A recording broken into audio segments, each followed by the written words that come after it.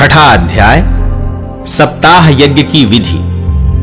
श्री सनकादि कहते हैं, नारद जी, अब हम आपको सप्ताह श्रवण की विधि बताते हैं। यह विधि प्रायः लोगों की सहायता और धन से साध्य कही गई है। पहले तो यत्न पूर्वक ज्योतिषी को बुलाकर मुहूर्त पूछना चाहिए तथा विवाह के लिए जिस प्रकार धन का प्रबंध किया जाता है, उस प्रकार ही धन की व्यवस्था इसके लिए करनी चाहिए। कथा आरंभ करने में भाद्रपद, अश्विन, कार्तिक, मार्गशीर्ष, आषाढ़ और श्रावण, ये छह महीने श्रोताओं के लिए मोक्ष की प्राप्ति के कारण हैं। देवर्षे, इन महीनों में भी भद्रा, व्यतिपात आदि कुयोगों को सर्वथा त्याग देना चाहिए। तथा दूसरे लोग जो उत्साही हों, उन्हें अपना सहायक बना लेना चाहिए। फिर प्रयत्न करके देश देशांतरों में यह संवाद भेजना चाहिए कि यहाँ कथा होगी। सब लोगों को सपरिवार पधारना चाहिए। स्त्री और शूद्रादि भगवत कथा एवं संकीर्तन से दूर पड़ गए हैं। उनको भी सूचना हो जाए, ऐसा प्रबंध करना चाहिए। देश देश में जो विरक्त वैष्णव और हर कीर्तन के प्रेमी हों, उनके पास निमंत्रण पत्र अवश्य भेजें। उसे लिखने की विधि इस प्रकार बताई गई है। महानुभावों यहाँ सात दिन तक सत्पुरुषों का बड़ा दुर्लभ समागम रहेगा और अपूर्व रसमयी श्रीमद् भागवत की कथा होगी। आप लोग भगवत रस के रसिक हैं, अतः श्री भागवता भागवतामृत का पान करने के लिए प्रेम पूर्वक शीघ्र ही पधारने की कृपा करें। यदि आपको विशेष अवकाश न हो तो भी एक दिन के लिए तो अवश्य ही कृपा करनी चाहिए, क्योंकि यहाँ का तो एक क्षण भी अत्यंत दुर्लभ है। इस प्रकार विनय पूर्वक उन्हें निमंत्रित करें और जो लोग आए, उनके लिए यथोचित निवास स्थान का प्रबंध करें। कथा का श्रवण किसी तीर्थ में, वन में अथवा अपने घर पर भी अच्छा माना गया है। जहाँ लंबा चौड़ा मैदान हो, वहीं कथा स्थल रखना चाहिए। भूमि का शोधन, मार्जन और लेपन करके रंग बिरंगी धातुओं से चौक पूरे घर की सारी सामग्री उठाकर एक कोने में रख दे। पाँच दिन पहले से ही यत्न पूर्वक बहुत से बिछाने के वस्त्र एकत्र कर ले तथा केले के खंभों से सुशोभित एक ऊँचा मंडप तैयार कराए। उसे सब ओर फल, पुष्प, पत्र और चंदोवे से अलंकृत करे तथा चारों ओर झंडियाँ लगाकर तरह तरह के सामानों से सजा दे। उस मंडप में कुछ ऊंचाई पर सात विशाल लोकों की कल्पना करे और उनमें विरक्त ब्राह्मणों को बुला बुलाकर बैठाए। आगे की ओर उनके लिए वहाँ यथोचित आसन तैयार रखे। इनके पीछे वक्ता के लिए भी एक दिव्य सिंहासन का प्रबंध करे। यदि वक्ता का मुख उत्तर की ओर रहे तो श्रोता पूर्वाभिमुख होकर बैठे, और यदि वक्ता पूर्वाभिमुख रहे तो श्रोता को उत्तर की ओर मुख करके बैठना चाहिए। अथवा वक्ता और श्रोता को पूर्व मुख होकर बैठना चाहिए। देश काल आदि को जानने वाले महानुभावों ने श्रोता के लिए ऐसा ही नियम बताया है। जो वेद शास्त्र की स्पष्ट व्याख्या करने में समर्थ हो तरह तरह के दृष्टांत दे सकता हो, तथा विवेकी और अत्यंत निष्प्रिय हो, ऐसे विरक्त और विष्णु भक्त ब्राह्मण को वक्ता बनाना चाहिए। श्रीमद् भागवत के प्रवचन में ऐसे लोगों को नियुक्त नहीं करना चाहिए, जो पंडित होने पर भी अनेक धर्मों के चक्कर में पड़े हुए स्त्री लंपट एवं पाखंड के प्रचारक हों। वक्ता के पास ही उसकी सहायता के लिए एक वैसा ही विद्वान और स्थापित करना चाहिए। वह भी सब प्रकार के संशयों की निवृत्ति करने में समर्थ और लोगों को समझाने में कुशल हो। कथा प्रारंभ के दिन से एक दिन पूर्व व्रत ग्रहण करने के लिए वक्ता को शौर करा लेना चाहिए। तथा अरुणोदय के समय शौच से निवृत्त होकर अच्छी तरह स्नान करे और संध्यादि अपने नित्य कर्मों को संक्षेप से समाप्त करके कथा के विघ्नों की निवृत्ति के लिए गणेश जी का पूजन करे। तदनंतर पितृगण का तर्पण कर पूर्व पापों की शुद्धि के लिए प्रायश्चित करे और एक मंडल बनाकर उसमें श्री हरि को स्थापित करे। फिर भगवान श्री कृष्ण को लक्ष्य करके मंत्रोच्चारण पूर्वक क्रमशः षोडशोपचार विधि से पूजन करे और उसके पश्चात प्रदक्षिणा तथा नमस्कार आदि कर इस प्रकार स्तुति करे। करुणा निधान, मैं संसार सागर में डूबा हुआ और बड़ा दीन हूँ। कर्मों के मोह रूपी ग्राह ने मुझे पकड़ रखा है। आप इस संसार सागर से मेरा उद्धार कीजिए। इसके पश्चात धूप, दीप आदि सामग्रियों से श्रीमद् भागवत की भी बड़े उत्साह और प्रीति पूर्वक विधि विधान से पूजा करे। फिर पुस्तक के आगे नारियल रखकर नमस्कार करे और प्रसन्न चित्त से इस प्रकार स्तुति करे, श्रीमद् भागवत के रूप में आप साक्षात श्री कृष्ण चंद्र ही विराजमान हैं। नाथ, मैंने भवसागर से छुटकारा पाने के लिए आपकी शरण ली है। मेरा यह मनोरथ आप बिना किसी विघ्न बाधा के सांगो पांग पूरा करें। केशव, मैं आपका दास हूँ। इस प्रकार दीन वचन कहकर फिर वक्ता का पूजन करे। उसे सुंदर वस्त्राभूषणों से विभूषित करे और फिर पूजा के पश्चात उसकी इस प्रकार स्तुति करे। शुक स्वरूप भगवान, आप समझाने की कला में कुशल और सब शास्त्रों में पारंगत हैं। कृपया इस कथा को प्रकाशित करके मेरा अज्ञान दूर करें। फिर अपने कल्याण के लिए प्रसन्नता पूर्वक उसके सामने नियम ग्रहण करे और सात दिनों तक यथाशक्ति उसका पालन करे। कथा में विघ्न न हो, इसके लिए पाँच ब्राह्मणों को और वर्ण करे। वे द्वादशाक्षर मंत्र द्वारा भगवान के नामों का जप करें। फिर ब्राह्मण, अन्य विष्णु भक्त एवं कीर्तन करने वालों को नमस्कार करके उनकी पूजा करे और उनकी आज्ञा पाकर स्वयं भी आसन पर बैठ जाए। जो पुरुष, लोक, संपत्ति, धन, घर और पुत्रादि की चिंता छोड़कर शुद्ध चित्त से केवल कथा में ही ध्यान रखता है, उसे इसके श्रवण का उत्तम फल मिलता है। बुद्धिमान वक्ता को चाहिए कि सूर्योदय से कथा आरंभ करके साढ़े तीन पहर तक मध्यम स्वर से अच्छी तरह कथा बांचे। दोपहर के समय दो घड़ी तक कथा बंद रखे। उस समय कथा के प्रसंग के अनुसार वैष्णवों को भगवान के गुणों का कीर्तन करना चाहिए, व्यर्थ बातें नहीं करनी चाहिए। कथा के समय मल मूत्र के वेग को काबू में रखने के लिए अल्पाहार सुखकारी होता है। इसलिए श्रोता केवल एक ही समय हविष्यान्न भोजन करे। यदि शक्ति हो तो सातों दिन निराहार रहकर कथा सुने, अथवा केवल घी या दूध पीकर सुखपूर्वक श्रवण करे। अथवा फलाहार या एक समय ही भोजन करे।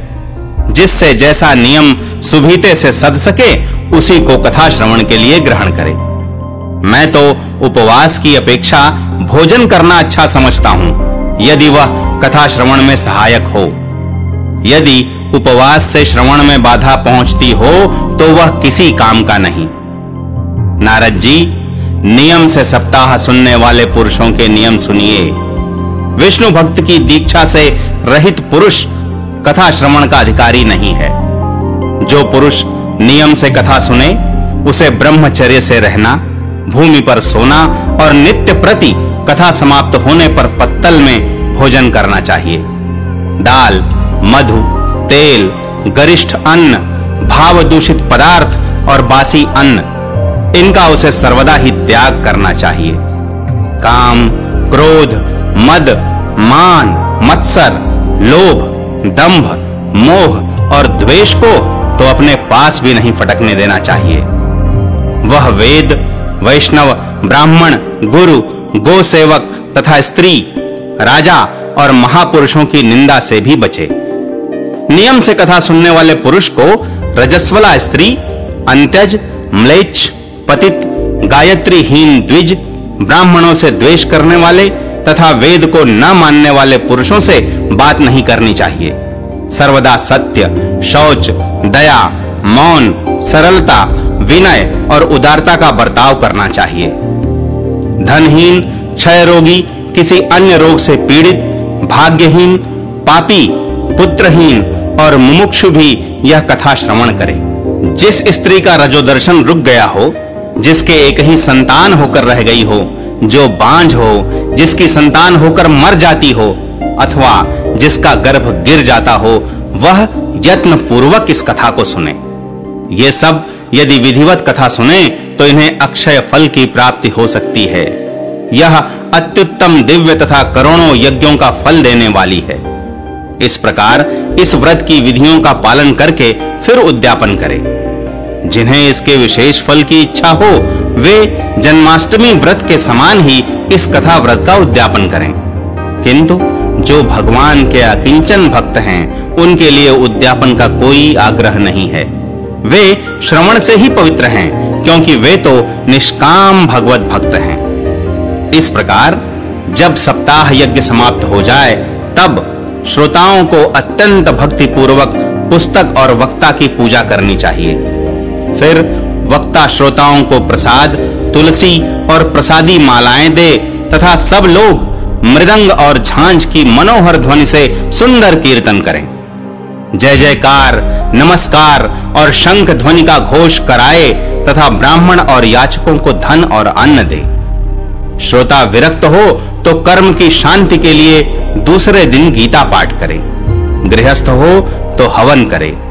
उस हवन में दशम स्कंद का एक एक श्लोक पढ़कर विधि पूर्वक खीर, मधु, घृत, तिल और अन्नादि सामग्रियों से आहुति दे, अथवा एकाग्र चित्त से गायत्री मंत्र द्वारा हवन करे, क्योंकि तत्वतः यह महापुराण गायत्री स्वरूप ही है।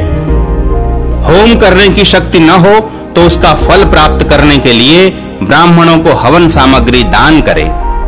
तथा नाना प्रकार की त्रुटियों को दूर करने के लिए और विधि में फिर जो न्यूनाधिकता रह गई हो, उसके दोषों की शांति के लिए विष्णु सहस्त्र नाम का पाठ करें। उससे सभी कर्म सफल हो जाते हैं, क्योंकि कोई भी कर्म इससे बढ़कर नहीं है। फिर बारह ब्राह्मणों को खीर और मधु आदि उत्तम उत्तम पदार्थ खिलाए तथा व्रत की पूर्ति के लिए गौ और सुवर्ण का दान करें। सामर्थ्य हो तो तीन तोले सोने का एक सिंहासन बनवाए। उस पर सुंदर अक्षरों में लिखी हुई श्रीमद् भागवत की पोथी रखकर, उसकी आवाहनादि विविध उपचारों से पूजा करे और फिर जितेंद्रिय आचार्य को उसका वस्त्र, आभूषण एवं गंधादि से पूजन कर दक्षिणा के सहित समर्पण कर दे। यूँ करने से वह बुद्धिमान दाता जन्म मरण के बंधनों से मुक्त हो जाता है। यह सप्ताह पारायण की विधि सब पापों की निवृत्ति करने वाली है। इसका इस प्रकार ठीक ठीक पालन करने से यह मंगलमय भागवत पुराण अभीष्ट फल प्रदान करता है तथा अर्थ, धर्म, काम और मोक्ष चारों की प्राप्ति का साधन हो जाता है, इसमें संदेह नहीं। सनकादि कहते हैं, नारद जी, इस प्रकार तुम्हें यह सप्ताह श्रवण की विधि हमने पूरी पूरी सुना दी। अब और क्या सुनना चाहते हो? इस श्रीमद् भागवत से भोग और मोक्ष दोनों ही हाथ लग जाते हैं। सूत जी कहते हैं, शौनक जी, यो कहकर महामुनि सनकादि ने एक सप्ताह तक विधि पूर्वक इस सर्व पाप नाशिनी परम पवित्र तथा भोग और मोक्ष प्रदान करने वाली भागवत कथा का प्रवचन किया। सब प्राणियों ने नियम पूर्वक इसे श्रवण किया। इसके पश्चात उन्होंने विधि पूर्वक भगवान पुरुषोत्तम की स्तुति की। कथा के अंत में ज्ञान, वैराग्य और भक्ति को बड़ी पुष्टि मिली और वे तीनों एकदम तरुण होकर सब जीवों का चित्त अपनी ओर आकर्षित करने लगे। अपना मनोरथ पूरा होने से नारद जी को भी बड़ी प्रसन्नता हुई। उनके सारे शरीर में रोमांच हो आया और वे परमानंद से पूर्ण हो गए। इस प्रकार कथा श्रवण कर भगवान के प्यारे नारद जी हाथ जोड़कर प्रेम गदगद वाणी से सनकादि से कहने लगे। नारद जी ने कहा, मैं धन्य हूँ। आप लोगों ने करुणा करके मुझे बड़ा ही अनुग्रहित किया है। आज मुझे सर्व पापहारी भगवान श्री हरि की प्राप्ति हो गई। तपोधनो, मैं श्रीमद् भागवत श्रवण को ही सब धर्मों से श्रेष्ठ मानता हूँ, क्योंकि इसके श्रवण से वैकुंठ विहारी श्री कृष्ण की प्राप्ति होती है। सूत जी कहते हैं, शौनक जी, वैष्णव श्रेष्ठ नारद जी यो कह ही रहे थे कि वहाँ घूमते फिरते योगेश्वर सुखदेव जी आ गए। कथा समाप्त होते ही व्यास नंदन श्री सुखदेव जी वहाँ पधारे। सोलह वर्ष की सी आयु, आत्मलाभ से पूर्ण ज्ञान रूपी महासागर का संवर्धन करने के लिए चंद्रमा के समान वे प्रेम से धीरे धीरे श्रीमद् भागवत का पाठ कर रहे थे। परम तेजस्वी सुखदेव जी को देखकर सारे सभासद झटपट खड़े हो गए और उन्हें एक ऊँचे आसन पर बैठाया। फिर देवर्षि नारद जी ने उनका प्रेम पूर्वक पूजन किया। उन्होंने सुख पूर्वक बैठकर कहा, आप लोग मेरी निर्मल वाणी सुनिए। श्री सुखदेव जी बोले, रसिक एवं भावुक जन यह श्रीमद् भागवत वेद रूप कल्प वृक्ष का परिपक्व फल है। श्री सुखदेव रूप सुख के मुख का संयोग होने से अमृत रस से परिपूर्ण है। यह रस ही रस है। इसमें न छिलका है, न गुठली। यह इसी लोक में सुलभ है। जब तक शरीर में चेतना रहे, तब तक आप लोग बार बार इसका पान करें। महामुनि व्यास देव ने श्रीमद् भागवत महापुराण की रचना की है। इसमें निष्कपट निष्काम परम धर्म का निरूपण है। इसमें शुद्धांत करण सत्पुरुषों के जानने योग्य कल्याणकारी वास्तविक वस्तु का वर्णन है, जिससे तीनों तापों की शांति होती है। इसका आश्रय लेने पर दूसरे शास्त्र अथवा साधन की आवश्यकता नहीं रहती। जब कभी पुण्यात्मा पुरुष इसके श्रवण की इच्छा करते हैं, तभी ईश्वर अविलंब उनके हृदय में अवरुद्ध हो जाता है। यह भागवत पुराणों का तिलक और वैष्णवों का धन है। इसमें परमहंसों के प्राप्य विशुद्ध ज्ञान का ही वर्णन किया गया है, तथा ज्ञान, वैराग्य और भक्ति के सहित निवृत्ति मार्ग को प्रकाशित किया गया है। जो पुरुष भक्ति पूर्वक इसके श्रवण, पठन और मनन में तत्पर रहता है, वह मुक्त हो जाता है।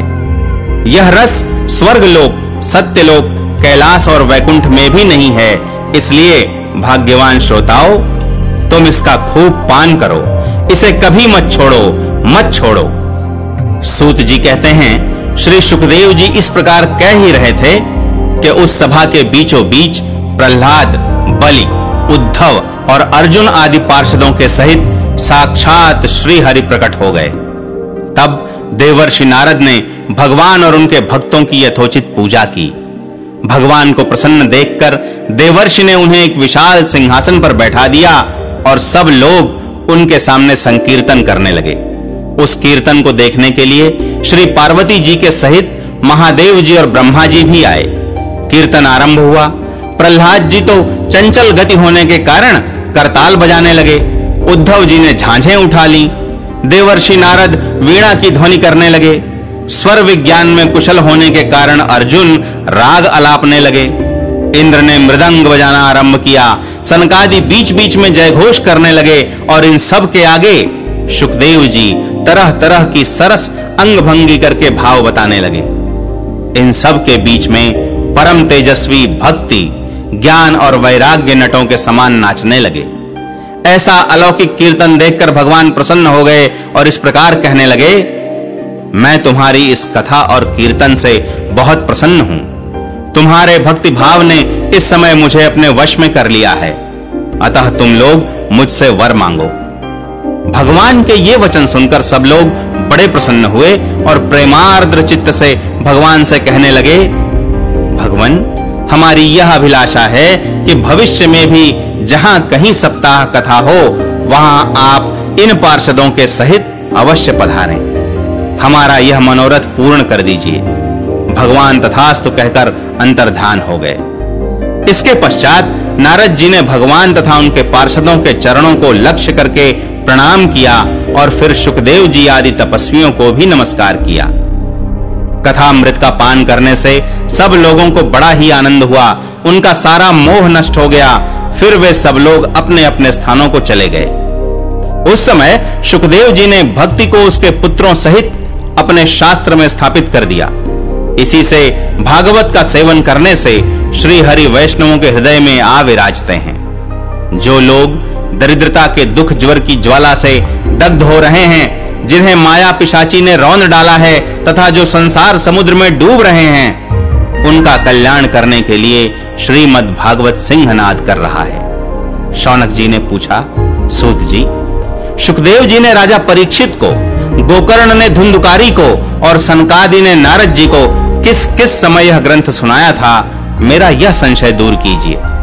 सूत जी ने कहा, भगवान श्री कृष्ण के स्वधाम गमन के बाद, कलयुग के तीस वर्ष से कुछ अधिक बीत जाने पर, भाद्रपद मास की शुक्ला नवमी को सुखदेव जी ने कथा आरंभ की थी। राजा परीक्षित के कथा सुनने के बाद, कलयुग के 200 वर्ष बीत जाने पर, आषाढ़ मास की शुक्ला नवमी को गोकर्ण जी ने यह कथा सुनाई थी। इसके पीछे कलयुग के 30 वर्ष और निकल जाने पर कार्तिक शुक्ला नवमी से सनकादि ने कथा आरंभ की थी। निष्पाप शौनक जी, आपने जो कुछ पूछा था, उसका उत्तर मैंने आपको दे दिया। इस कलयुग में भागवत की कथा भवरोग की रामबाण औषधि है।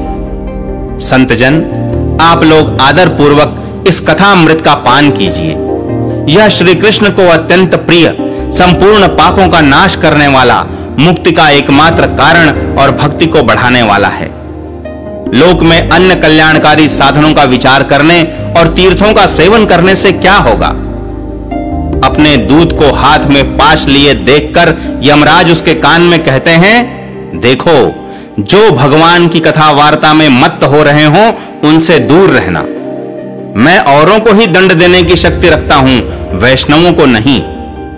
इस असार संसार में विषय रूप विष की आसक्ति के कारण व्याकुल बुद्धि वाले पुरुषों अपने कल्याण के उद्देश्य से आधे क्षण के लिए भी इस शुक कथा रूप अनुपम सुधा का पान करो। प्यारे भाइयों, निंदित कथाओं से युक्त कुपथ में व्यर्थ ही क्यों भटक रहे हो? इस कथा के कान में प्रवेश करते ही मुक्ति हो जाती है। इस बात के साक्षी राजा परीक्षित हैं। श्री सुखदेव जी ने प्रेम रस के प्रवाह में स्थित होकर इस कथा को कहा था। इसका जिसके कंठ से संबंध हो जाता है, वह वैकुंठ का स्वामी बन जाता है। शौनक जी, मैंने अनेक शास्त्रों को देखकर आपको यह परम गोप्य रहस्य अभी अभी सुनाया है। सब शास्त्रों के सिद्धांतों का यही निचोड़ है। संसार में इस शुक शास्त्र से अधिक पवित्र और कोई वस्तु नहीं है। अतः आप लोग परमानंद की प्राप्ति के लिए इस द्वादश स्कंध रूप रस का पान करें। जो पुरुष नियम पूर्वक इस कथा का भक्ति भाव से श्रवण करता है और जो शुद्धांत करण भगवत भक्तों के सामने इसे सुनाता है, वे दोनों ही विधि का पूरा पूरा पालन करने के कारण इसका यथार्थ फल पाते हैं।